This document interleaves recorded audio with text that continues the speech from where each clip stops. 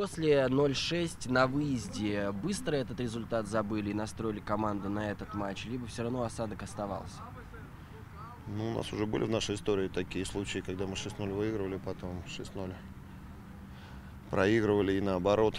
В общем-то, в принципе, футбол тем хорош, что всегда можно реваншироваться.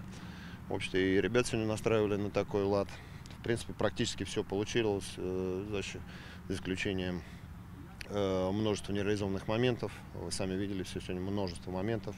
Счет должен быть э, гораздо большим. Вот.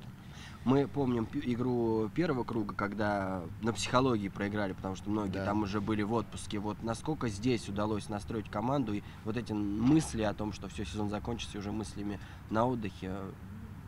Да нет, ну, у нас таких мыслей не было.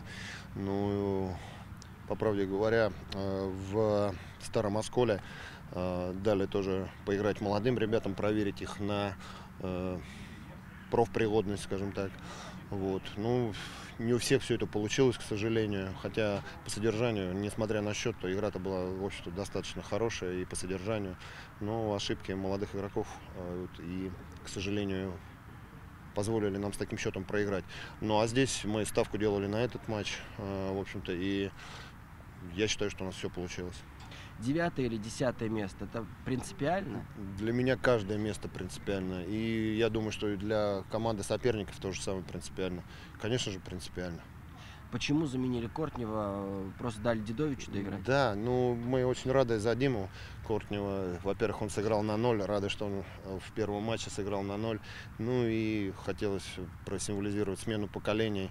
Э, Дима Дедович сейчас э, прогрессирует. И мы надеемся, что в скором будущем он э, прибавит в мастерстве и составит конкуренцию э, другим вратарям. Что сейчас скажете команде в раздевалке в первую очередь? Мы поблагодарим за сезон, конечно же. Вот. За этот год очень сильно прибавили все, ну, благодаря, скажем так, и сборам, подготовке. А, ну и будем настраиваться на следующий сезон. А, несколько игроков у нас заявлено за основную команду.